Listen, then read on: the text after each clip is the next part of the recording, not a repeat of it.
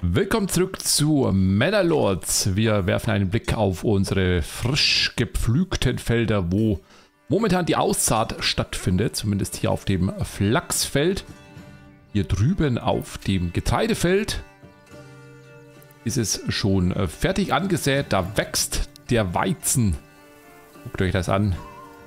Er weiß noch nicht, wie ihm geschieht, aber in ein paar Monaten wird er geerntet. Und hier unten, ja, da ist auch schon zumindest ein bisschen angepflügt.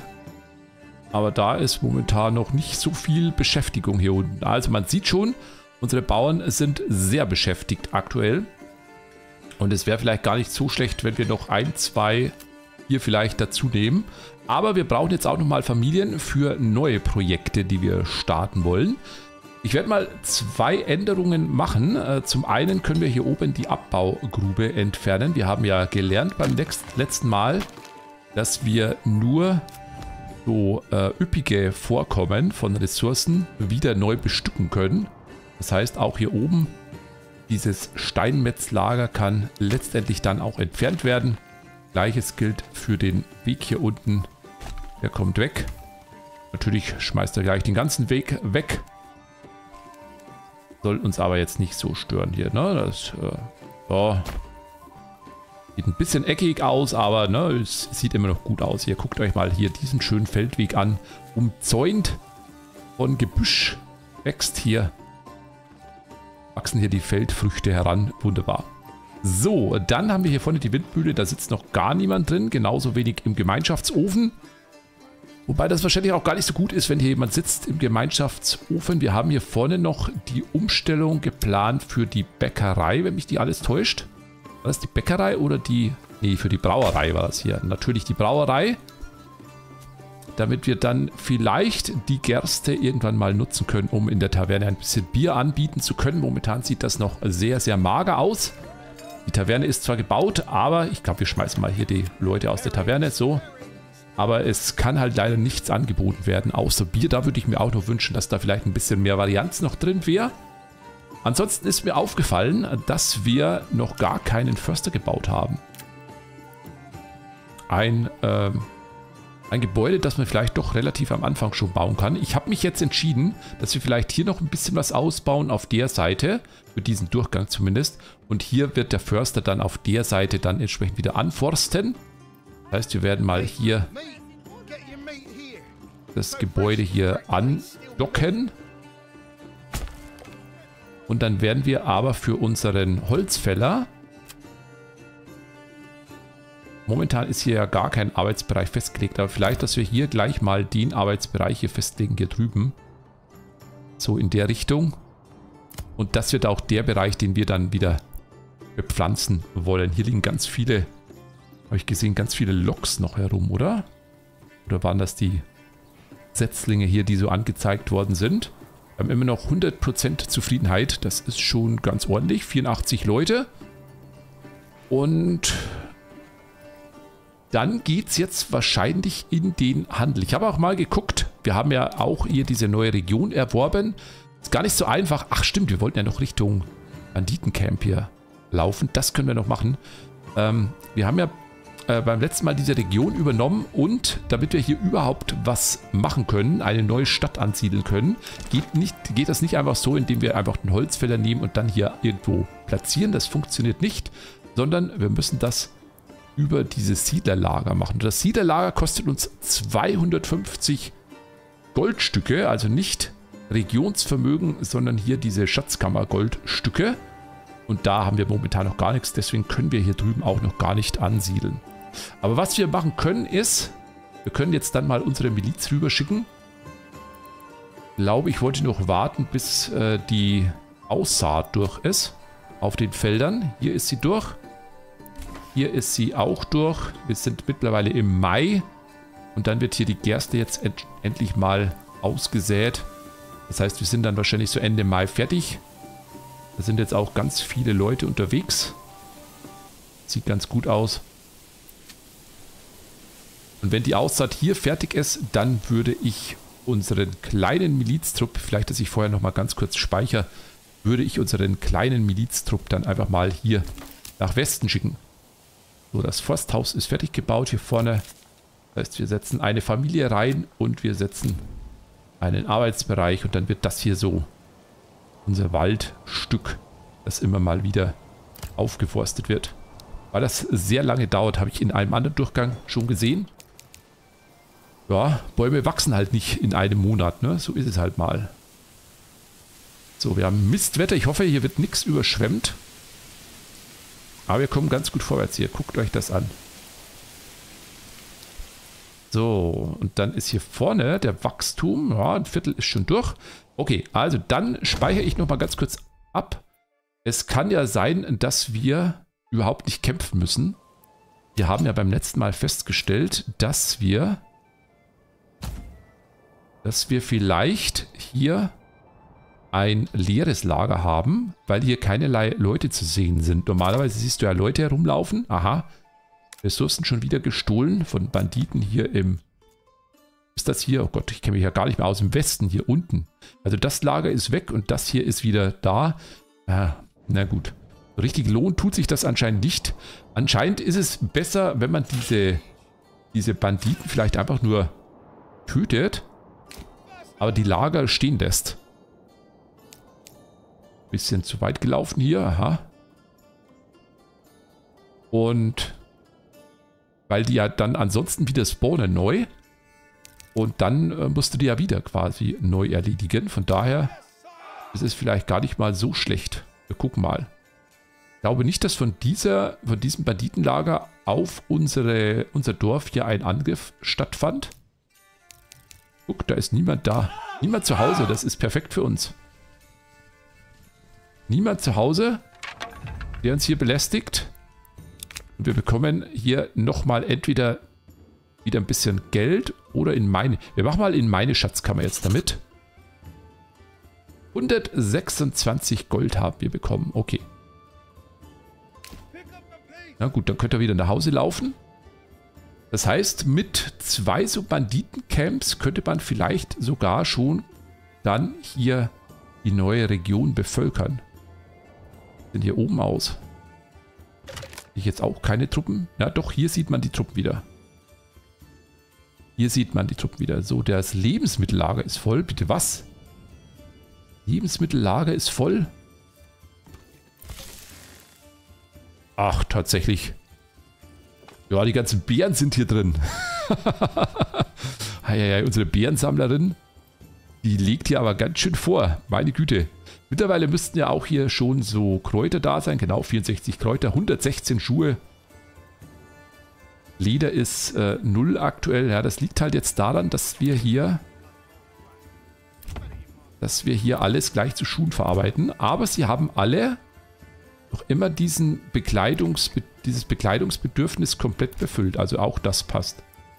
Also anscheinend muss man gar nicht mehr das komplette La äh, Leder vorhalten, damit die Leute auch selbst noch Leder holen können. Vielleicht kann man es so interpretieren, dass quasi, ähm, dass quasi äh, Leder, Schuhe auch schon das Bedürfnis nach reinem Leder befriedigen. So würde ich das jetzt einfach mal interpretieren.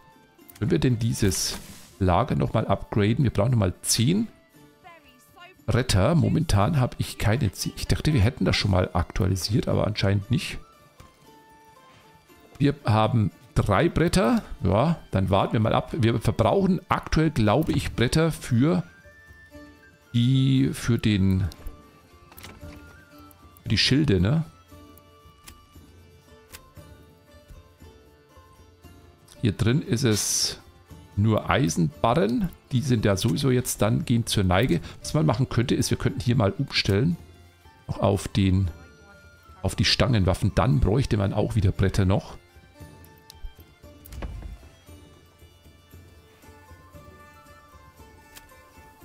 Hier drüben haben wir die kleinen Schilde. Das pausiert oder was ist hier? Schuster, achso, Schusterwerkstatt. Er hat die Schilde für sich eingelagert ist denn mein, mein Pfeilmacher? Tischler? Da ist er. Ah, der braucht auch Bretter, ja genau. Kann man denn jetzt mal nachschauen, wie viel Zeug wir haben? Wir haben 0 kleine Schilde, 14 große Schilde. Seitenwaffen habe ich 28. Wir pausieren mal die Schmiede hier vorne. Jetzt gucken wir mal rein. Die schon wieder zu Hause. Wir lösen euch mal kurz auf, dann könnt ihr nach Hause laufen. Und dann brauchen wir hier kleine Schilde.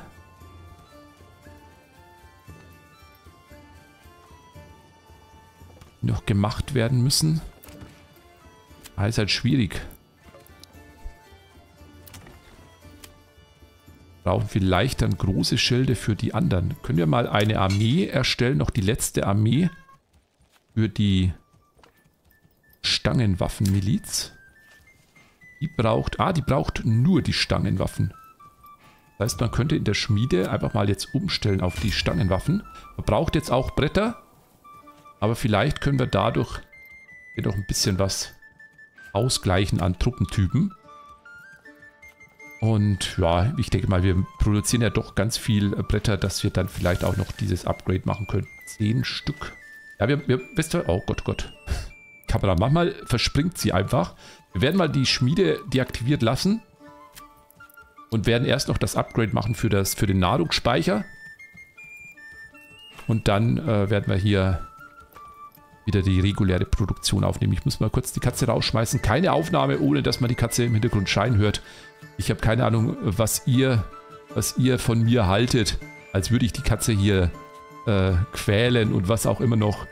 Aber keine Sorge, der Katze geht's gut. Ich schmeiß sie mal raus.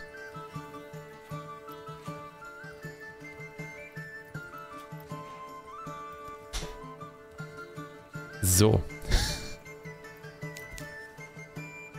Dann gucken wir mal. Lebensmittellage, allgemeines Lager ist auch voll.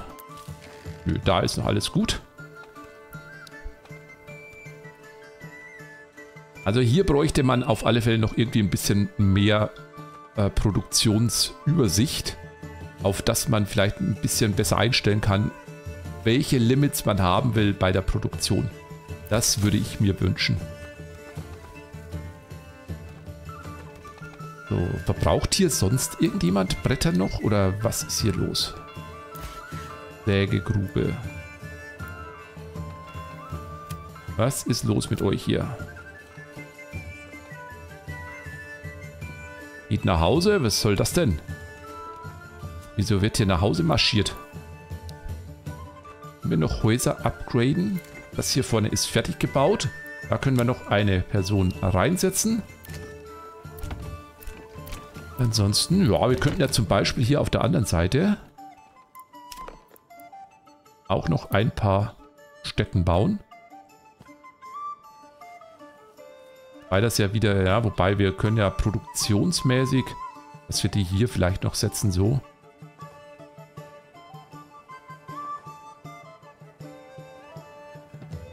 Oder hätten wir hier oben, wir können auch hier oben noch ein paar Häuser setzen.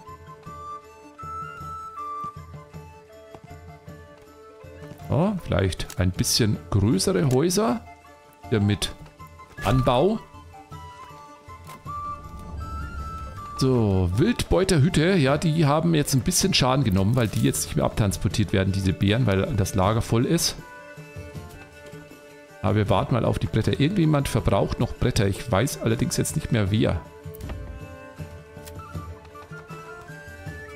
Der Pfeilmacher. Der Pfeilmacher ist aber auch pausiert. Boosterwerkstatt verbraucht hoffentlich keine Bretter. Tischlerei. Ah, Moment, die Tischlerei ist ja gar nicht pausiert. Jetzt sehe ich es erst.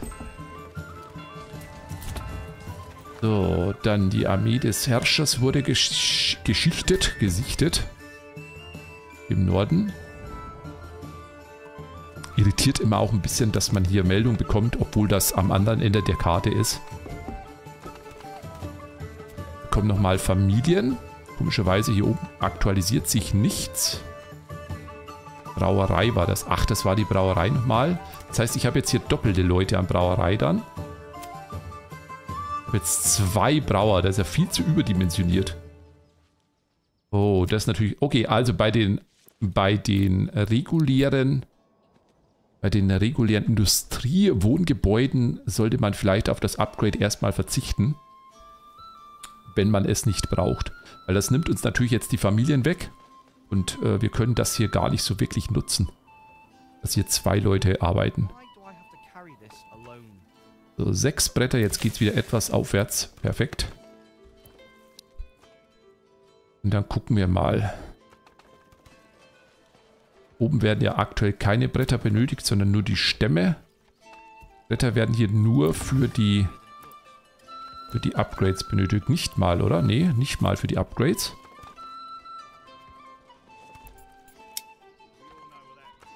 Gemüse oder Hühnerstall. Wir haben 220. Wir machen mal, was habe ich denn noch hier? Eier sind da, Gemüse, ja, vielleicht nochmal ein bisschen Gemüse. Aber ich würde mir diese Sachen erstmal sparen jetzt. Dann werden wir uns noch ein bisschen dem Handel widmen. Sobald wir das Upgrade hier bekommen. Das dauert noch ein bisschen. Wir können uns ja schon mal anschauen, was es hier für ein äh, Gebäude gibt zum Handeln. Es gibt zum einen den Handelsposten an sich. Der handelt mit Wanderhändlern als auch mit Handelspunkten hier drüben. Und muss natürlich an einer Straße platziert werden. Und äh, wir benötigen dafür dann dieses Regionsvermögen, damit wir entsprechende Handelsverträge freischalten können. Und dann gibt es noch den Viehhandelsposten und der sorgt dann dafür, dass wir entsprechend mit Vieh, wer jetzt gedacht, handeln können und dann vielleicht auch später mal eine Viehwirtschaft aufbauen können. Könnte man sich zum Beispiel mal auch einen zweiten Ochsen dann genehmigen. Äh, dafür wäre aber ein Upgrade hier auch ganz gut. Für unseren Anbindebalken hier vorne. Ach, jetzt brauche ich hier wieder Bretter. Verdammt. ah. Na gut, wir haben 14, das heißt, wir können hier auch schon das Upgrade machen. Sehr schön. Gut, und dann bauen wir uns mal einen Handelsposten. Den Handelsposten, ich weiß gar nicht, ob man den jetzt an diese Hauptstraße setzen muss. Äh, wir setzen den mal hier unten ran. Direkt ins Industriegebiet oder ans Lagerhaus vielleicht sogar hier ran. Und dann wird der hier gebaut. Hoher Priorität. Oh, wie viele Prioritäten gibt es denn hier? Gibt äh, Mittel, dann gibt es hoch, sehr hoch und höchste Priorität. So, Gebäudeverbesserung, kleiner Stall war hier oben. Passt auch. Für die dritte Stufe bräuchten wir noch Stufe 3 oder höher. Ja, das geht halt leider nur, wenn wir dann auch mal Bier anbieten können. Moment, ist hier Weizen schon geerntet worden? Wir haben ja schon Weizen, Leute. Da sagt den Kerner was hier. Jetzt aber schnell die Windmühle besetzen und den Gemeinschaftsofen besetzen hier. Wo liegt denn der Weizen hier? 15 Weizen, hier oben auf dem Feld noch 44. Hier kommt der Flachs rein. Und hier kommt schon die Gerste rein. Oh, jetzt ist aber hier... Das ist ja fantastisch. Jetzt brauchen wir für die Gerste brauchen wir noch die Melzerei. Die habe ich ein bisschen vergessen. Jetzt komme ich hier in Stress. Okay, wir müssen den Handel wahrscheinlich noch ein bisschen verschieben dann. Die Melzerei sorgt dafür, dass die Gerste dann zu Malz verarbeitet wird. Das machen wir hier vorne, wenn das möglich ist. So, einmal gleich mal auch auf hohe Priorität setzen. Und dann werden, wird äh, diese, ist die Maische dann, die wird dann hier rübergebracht und in der Brauerei verarbeitet. Und gleiches passiert dann hier oben mit dem Weizen, der hier dann in der Windmühle gemahlen wird zu Mehl und dann verarbeitet wird zu Brot. Wobei ein Brot äh, Gemeinschaftsofen auch erstmal reicht hier. Und der Flachs, der wird momentan auch noch nicht verarbeitet. 27 Flachs haben wir bekommen. Der Flachs, der wird verarbeitet in der Weberei. Den könnte man, oh, das wäre ja toll. Passt direkt wunderschön hier oben rein. Guck dir das an. Hat gleich hier einen Weg gemacht zum Feld hoch. Auch ganz schön. Und dann bekommen wir hier von der Weberei die Leinen bekommen wir hier. Wolle, stellt Garn her, und Flachs gibt Leinen. So, ist das schon fertig gebaut? Ja, ja, sehr hoch. Alles auf hohe Priorität, wie man gelernt hat. Je höher die Priorität, einfach alles auf hohe Priorität setzen. Dann läuft auch alles ganz schnell ab. Sehr gut. So, das, äh, der Handelsposten fast fertig. Ab und zu reden die Leute auch, ne? Zwar in englischer Sprache, aber sie lassen uns manchmal wissen, was sie gerade denken hier. Jetzt gucken wir mal, wie hier angepflanzt. Ach, der ist ja auch schon ganz schön angepflanzt worden hier, oder? Das ist neu hier oben jetzt. Da waren die Förster, aber sehr aktiv. So, der Handelsposten ist durch. Wir müssen noch ein bisschen warten mit der Zuweisung, weil wir nur zwei Familien haben.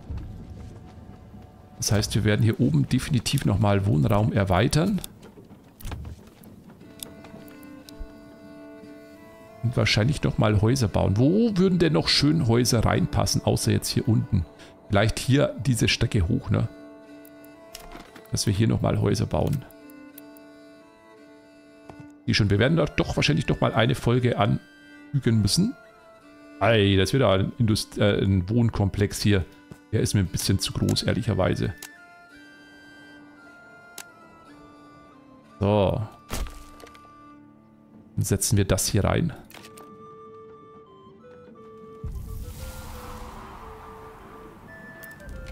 Hölzerei, wie viel Bauholz ist noch da? 31 Stück, perfekt. So, und hier wird schon wieder angepflanzt. Also das System mit äh, Anpflanzen, mit äh, Pflügen und Anpflanzen.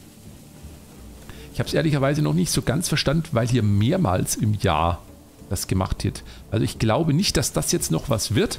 Es wird zwar angepflanzt, das ist ein bisschen komisch, weil das natürlich jetzt auch wieder Arbeitskraft wegnimmt. Es wird zwar angepflanzt, aber wir haben ja schon November und das heißt, da wird jetzt nicht mehr so viel wachsen. Wahrscheinlich gar nichts mehr wachsen, denke ich mal. Banditenlager entdeckt. Oben, aha. Und das müsste nochmal ein bisschen überarbeitet werden, dass sie sich gar nicht mehr die Mühe machen, hier überhaupt die Felder noch zu bestellen.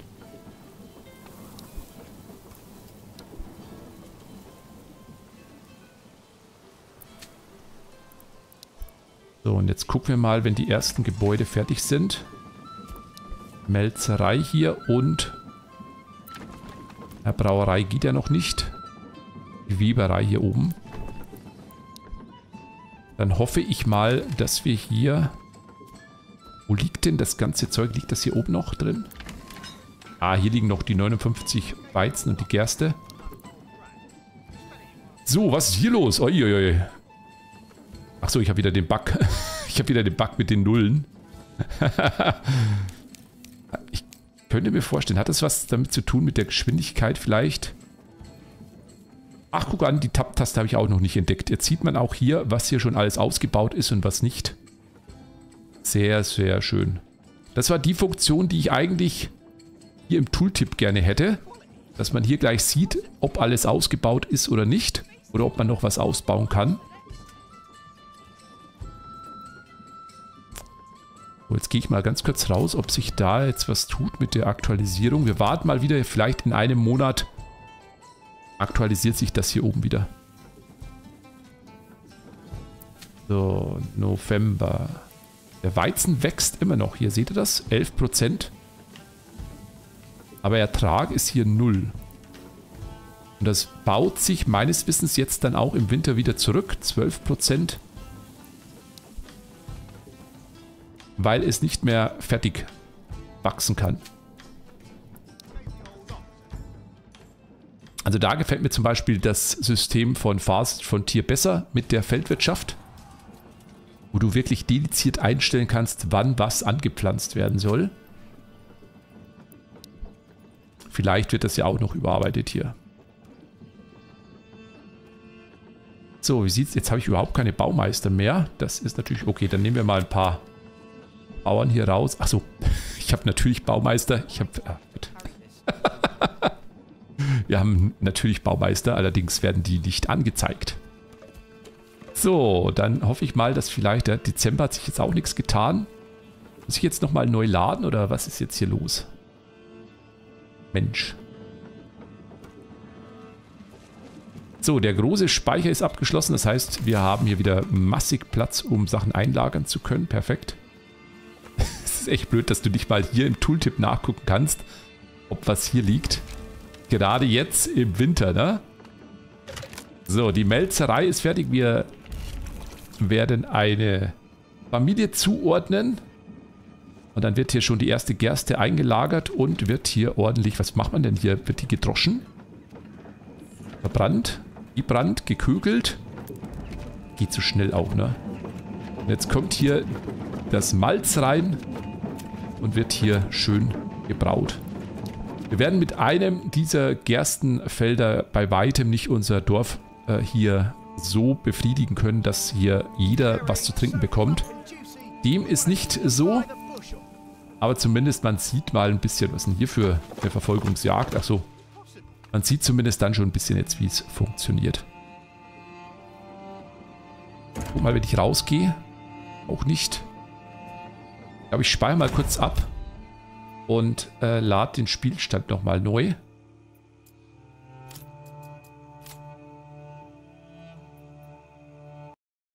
Und vielleicht können wir damit den Bug wieder ausmerzen. Ja. Jetzt passt's wieder. So, hier vorne in der Weberei muss noch kurz fertig gebaut werden. Dann könnte man die letzte Familie hier noch reinsetzen.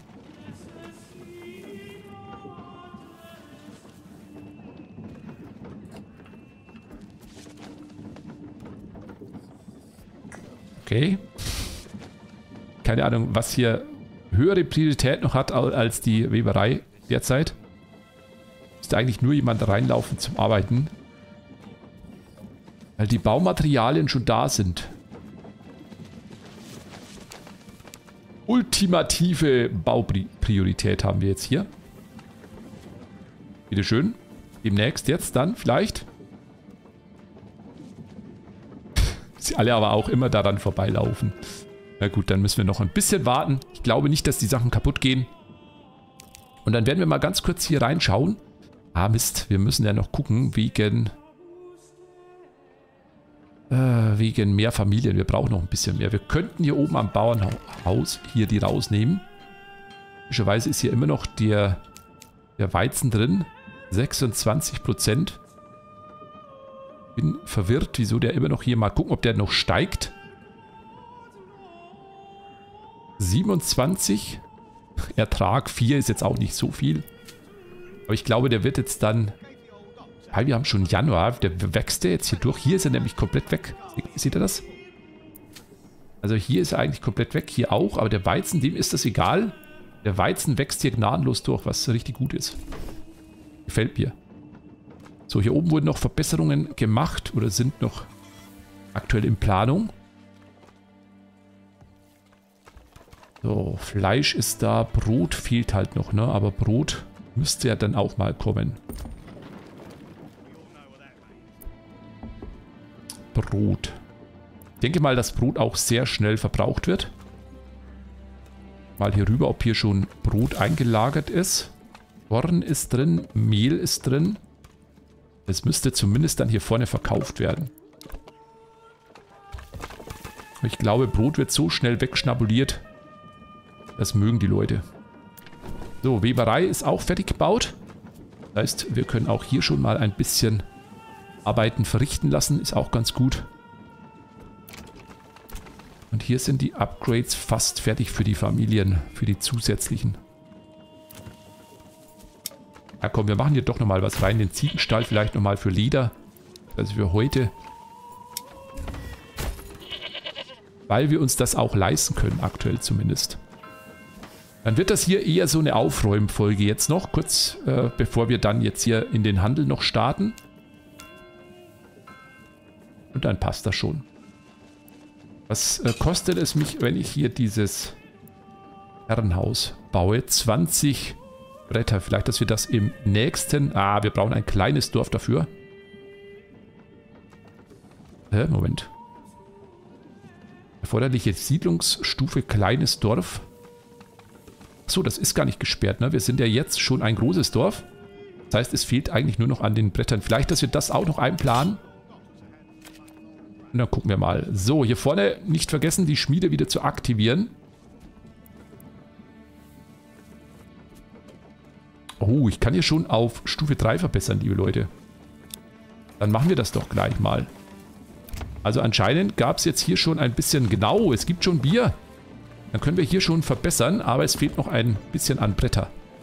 Aber zumindest ein erstes Häuschen und vielleicht schaffen wir es noch, dass wir zwei weitere Häuschen auf Stufe 3 bringen. Und in die nächste Stadtstufe oder Dorfstufe aufsteigen. Es ist dann eine Kleinstadt, oder? Kleinstadt, ja. Aber ihr seht schon, ne, das ist äh, sehr wenig Bier. Äh, Bier. Bier. Das ist dann letztendlich äh, schon ein bisschen, bisschen zu wenig für unsere Stadt. So, Waldbrand wird beansprucht. Guck. Hier oben, aha. Natürlich hat er schon wieder 1000 Prestigepunkte. Keine Ahnung woher. Äh, wir dümpeln bei 290. Ich habe auch ein bisschen Vermutung, vielleicht, vielleicht kümmert der sich ständig um die, um diese Banditencamps und bekommt deswegen Prestige. Das könnte ich mir noch so erklären, dass das hier deswegen der Fall ist. Andernfalls verbuche ich das einfach mal unter Cheaten. So, jetzt wird hier ausgebaut. Das geht auch sehr, sehr schnell hier. Guckt euch mal an. Das ist auch ein ganz schönes prestigeträchtiges Handwerkerhaus hier. Meine Güte. Sieht ein bisschen aus wie die übergehängten Häuser bei Bre in Herr der Ringe. Ah, ich habe schon wieder den Bug. Das ist schon wieder hier. Wann ist das denn immer hier? So, jetzt gucken wir mal, was wir hier noch brauchen. Hier ist eigentlich nur noch Bauholz, Mangelware. Ich gehe mal davon aus, dass wir noch Bauholz haben. Und dann können wir uns hier mal an einem wunderschönen Stufe 3 Häuschen ergötzen. So, was ist mit dem Weizen hier oben? Komischerweise, also der wächst anscheinend auch durch den Winter durch. Na gut, es soll mir recht sein. Hier wird schon wieder gepflügt. Das ist auch ganz gut. Aber dadurch, dass wir natürlich auch wieder ein bisschen Pause machen müssen, weil die, die Felder wieder brach liegen müssen, damit wir Fruchtbarkeit zurückbekommen, ist das natürlich äh, ja, schwierig, dass wir hier mit der Landwirtschaft in, unter diesen Bedingungen auf einen grünen Zweig kommen. So, also das sieht auch schon mal ganz ordentlich aus. Sehr schön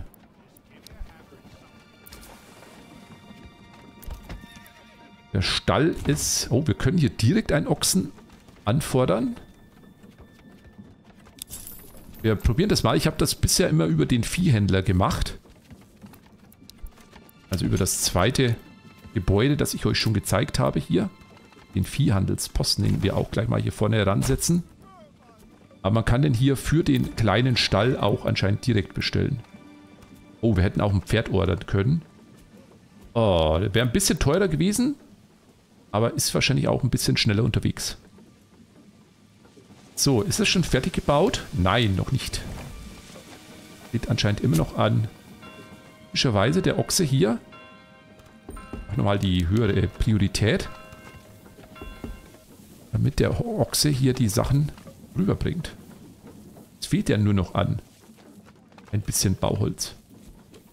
Wir werden den Ochsen mal beobachten, was er macht. wo er hinläuft. Er macht erstmal Pause. Was ist denn da los hier? Was ist hier los?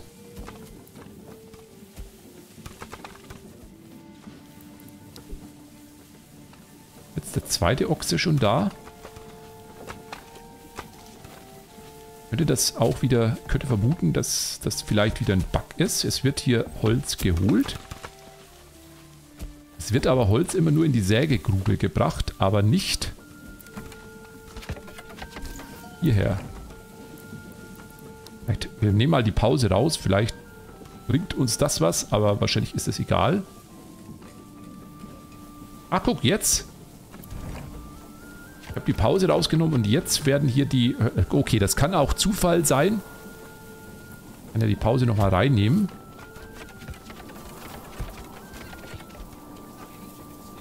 Ein Holz fehlt noch. Mal gucken, ob das jetzt geliefert wird.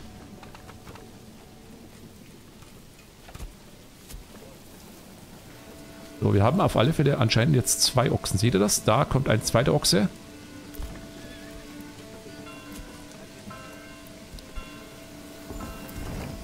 Also, wenn pausiert ist, wird nichts geliefert. Merkt euch das. Komischerweise sind die Bretter und so weiter aber schon geliefert worden. Das sollte natürlich so auch nicht sein. Aber vielleicht, ja, es ist wahrscheinlich der, einfach der Bau dann pausiert. So würde ich das interpretieren. Guckt euch mal dieses Prachtgebäude an hier. Da kann man auch mal im Regen gucken. Es sieht richtig hübsch aus hier. Und groß. Riesig groß mit hier der Werkstätte dahinter noch. Ja, fantastisch. Schön. Okay, dann machen wir hier mal ganz kurz Schluss. Eigentlich wollte ich heute was ganz was anderes machen. Ich wollte heute den Handel schon machen, aber dann verschieben wir den nochmal um eine Folge. Dann wird die nächste Folge wahrscheinlich dann die letzte Folge. Und die Folge verbuche ich jetzt mal unter ein bisschen Aufräumen. Und ich habe auch selbst wieder ein bisschen was gelernt. Ihr hoffentlich auch. Ah, die Folge endet mal wieder im Regen. Sehr, sehr schade. Macht aber gar nichts. Es sieht trotzdem toll aus. Wir sehen uns in der nächsten Folge. Daumen nach oben nicht vergessen und äh, Kommentar unter das Video. Macht's gut und bis dahin.